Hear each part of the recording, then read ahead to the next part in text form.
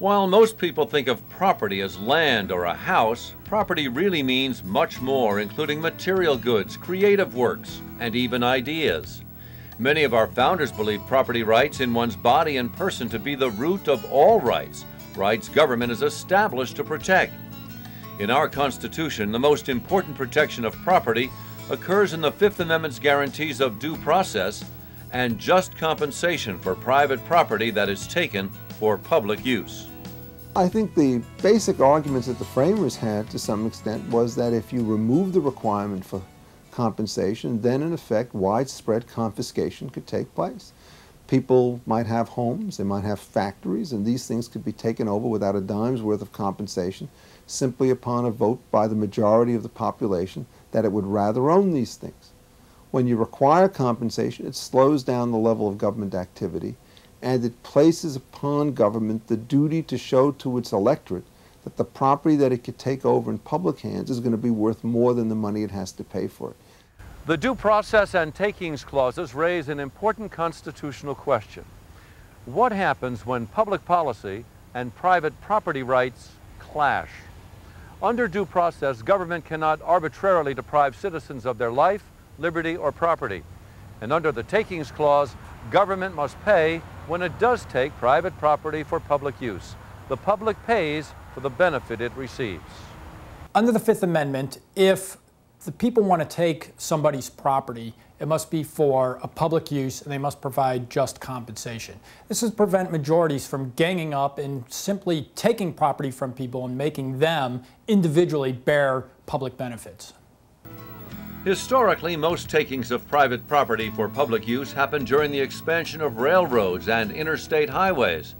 To secure the necessary stretches of connected land, the federal government condemned and then seized large strips of residential and farming property. Today, the government rarely confiscates private property outright. It's become common, however, for cities and states to limit or regulate what individuals can do with their property. Sometimes such regulation becomes so comprehensive that it qualifies as a taking under the Fifth Amendment, often referred to as a regulatory taking. A regulatory taking is a situation where the government says to a landowner, we are going to leave you in possession of your property, but we're going to impose restrictions upon you in the way in which that property can be used. So before the restrictions were imposed, you could build either an apartment house or a single family home on your property. After the restrictions are imposed, they say only single family homes. The question is whether or not this use restrictions, which precludes apartment houses, is a regulatory taking. Um, and the question is one which simply does not admit under current law of any coherent answer. A prominent case involving regulatory takings occurred in Lucas versus South Carolina Coastal Commission. In 1986, David Lucas purchased beachfront property on the Isle of Palms, a barrier island in South Carolina, with the hope of building two single-family homes. But two years later, South Carolina passed a law aimed at protecting the barrier islands from erosion by prohibiting the construction of new homes. Lucas argued that even if the law was constitutional, the state's action rendered his land economically valueless, and he sued for compensation. When a South Carolina court awarded Lucas more than $1.2 million, the state appealed, and in 1992, the case found its way to the Supreme Court. And the Supreme Court, in that extreme case, but in no others, said that the compensation was in fact required. And indeed, what it did do is required Mr. Lucas to give a deed to the state in exchange for the compensation it received. The state now had this piece of land, which in its hands was also worthless, and it had to pay $500,000. How did it raise the money? Answer is it resold the land in a private auction to somebody else and gave him the right to build. So I think what happened is by forcing them to take the land and to pay for it, all of a sudden that we see that there was a certain amount of posturing in the case. That is that people were prepared to say abstractly that preventing the construction was really very, very important to the public at large. But the moment they were required to compensate for the private loss, they simply abandoned their plans. And well, they should have. Lucas is a, an important victory for private property holders in that it places some limits on what the government can do. Nonetheless, it leaves unresolved how far the legislature can go in taking somebody's property. Two years later, the court returned to the issue of property rights in Dolan versus City of Tigard. Store owner Florence Dolan asked the City of Tigard, Oregon for a permit to expand her hardware store and pave the parking lot where her customers parked. The city granted the permit, but with the condition that Dolan give up parts of her property for a public bicycle path and a rainwater drainage area connecting to a local stream. Because the city's demands bore no relationship to the expansion of her hardware store, Dolan argued that the city's conditions violated the Fifth Amendment's takings clause, and she took her case all the way to the Supreme Court.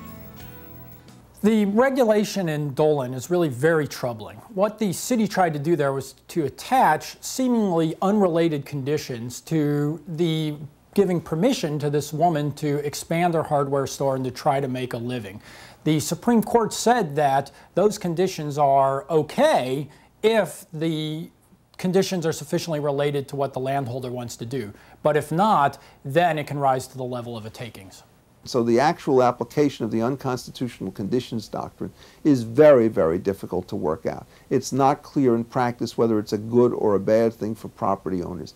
The restriction on the Lucas case which says, look, you cannot wipe out the entire viable use of land, is a much more unproblematic decision because it cuts in only one direction and tends to restrict government power. Dolan is therefore a very hard doctrine and a very hard case. Lucas, I think, has different problems, but at least it's a step in the right direction. Despite recent decisions supporting property rights, the court has upheld laws restricting the uses of historic buildings and landmarks, even though privately owned. Also, losses resulting from the exercise of government's power to protect health and safety, such as damage caused to buildings by police quelling a riot, or the profits lost in the closure of a leaking landfill, have not been ruled takings, which means the government did not have to compensate the owners for limiting the use of their property. In general, the courts have been reluctant to find regulatory takings, giving local government great latitude to regulate the use of private property without having to pay for it. While property rights cases have not enjoyed the same publicity as cases of free expression or religion, they involve the same key question. What happens when individual rights stand in the way of government efforts to promote the public good? The answer to that question affects the amount of liberty all Americans enjoy. I'm Tim O'Brien.